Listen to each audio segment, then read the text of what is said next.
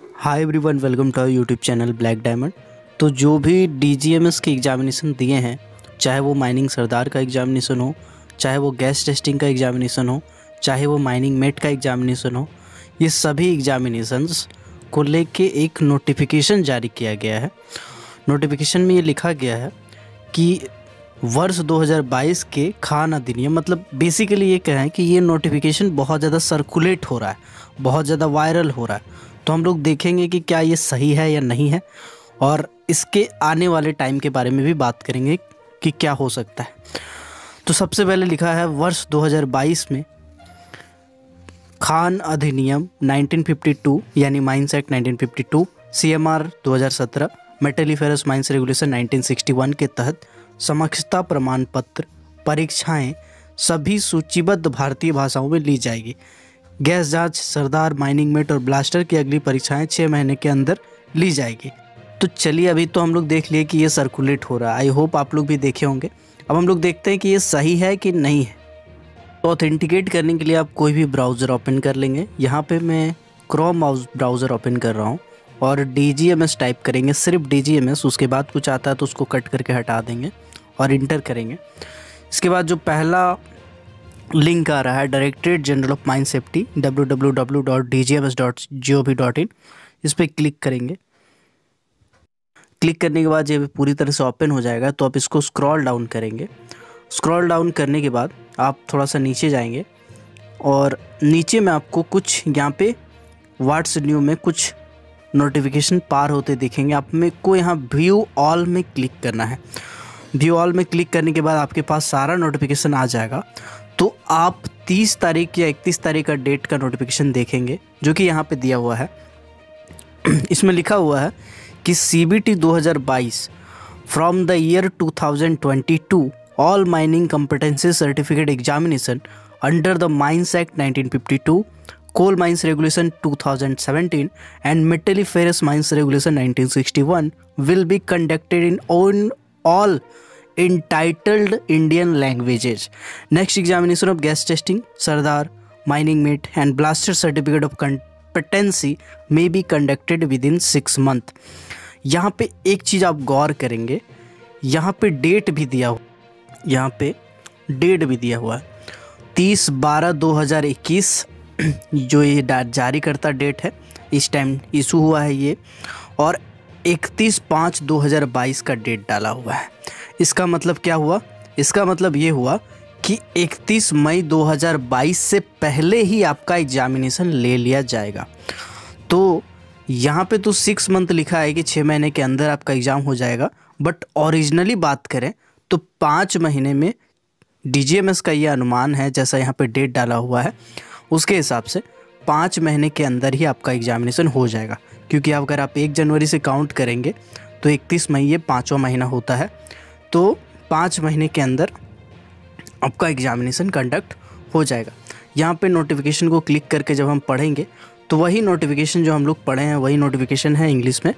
From the year 2022 all mining competency examination वही सब लिखा हुआ है। अब यहाँ पे दो तीन चीज़ें हम लोग बात करने वाले हैं। क्या जो एग्ज़ामिनेशन हुआ अभी, सरदार का गैस टेस्टिंग का माइनिंग मेट का ब्लास्टर का ये सारा एग्ज़ामिनेशन कैंसिल हो जाएगा। देखिए, इसका डीजीएमएस ने अभी तक कोई आंसर नहीं किया है। इस पुराने नोटिस जो नोटिफिकेशन है पूरा का पूरा पूरा नोटिफिकेशन में कहीं भी ये ज़िक्र नहीं है कि पुराना एग्जामिनेशन कैंसिल होकर री एग्जामिनेशन किया जाएगा। यहाँ पे एग्जामिनेशन कंडक्शन का बात किया गया है री एग्जामिनेशन का बात नहीं किया गया है। यहाँ पे नेक्स्ट एग्ज़ाम का बात किया है मतलब अगला परीक्षा। यहाँ पे ये नहीं बोला है कि इसका जो परीक्षा है वो कैंसिल करके लिया जाए। तो बेसिकली इसका मतलब ये भी नहीं कह सकते आप क्योंकि जो लड़के थे माइनिंग सरदार वाले, उन्होंने स्ट्राइक किया था माइनिंग मीट वाले। तो ये सब स्ट्राइक किए थे डी के सामने। तो डी से ये न्यूज़ आया था जहाँ तक जो वहाँ के जो लोग गए थे कैंडिडेट उन्होंने मुझे बताया है। तो उन लोगों ने बताया था कि डी ने कहा है कि बोर्ड मीटिंग हम बैठाएँगे जो कि जनवरी में होने वाला है। बोर्ड मीटिंग में डिसाइड होगा, ठीक है? तो इसीलिए अभी तक डीजीएमएस उस चीज़ को लेकर कुछ क्लियर नहीं किया है, लेकिन एक चीज़ मैं आपको बता देता हूँ। अगर डीजीएमएस के वेबसाइट पर रिज़ल्ट का लिंक आ जाता है मतलब है कि एग्जामिनेशन कैंसिल नहीं होने वाला है किसी भी हाल में। अगर लिंक नहीं आता है, रिज़ल्ट का लिंक तो चांसेस है कि जो एग्ज़ामिनेशन अभी हुआ है, वो कैंसिल हो जाए। बट इन माई ओपिनियन मुझे ये लगता है, मेरे पर्सनली मुझे ऐसा लगता है, क्योंकि डीजीएमएस ने ये नोटिस निकाल दिया है कि छः महीने के अंदर एग्ज़ामिनेशन होगा नेक्स्ट एग्ज़ामिनेशन तो चांसेस नहीं है कि एग्ज़ामिनेशन कैंसिल हो। क्योंकि अगर एग्ज़ामिनेशन कैंसिल होता तो ऐसा नेक्स्ट एग्ज़ामिनेशन वाला नोटिफिकेशन नहीं निकाला जाता डीजीएमएस से। इसका मतलब ये हुआ कि आपका एक अटैम्प्ट बर्बाद हो गया कि मेरे पास जो स्टूडेंट पढ़ते हैं उनका बहुत अच्छा रिज़ल्ट है। मैं उनसे सर्टिफाइड हूँ बट अगर इंग्लिश में नहीं होता, हिंदी लैंग्वेज में होता या entitled Indian languages entitled Indian languages का मतलब है, जो मध्य प्रदेश के हैं, जो झारखंड के हैं, जो बिहार के हैं, जो यूपी साइड के हैं, इनका एग्ज़ामिनेशन हिंदी में होगा। और जो तमिलनाडु से है, उनका तमिल में, ठीक है, जो कर्नाटका से है, उनका कन्नड़ में, इन भाषाओं में एग्ज़ामिनेशन होगा।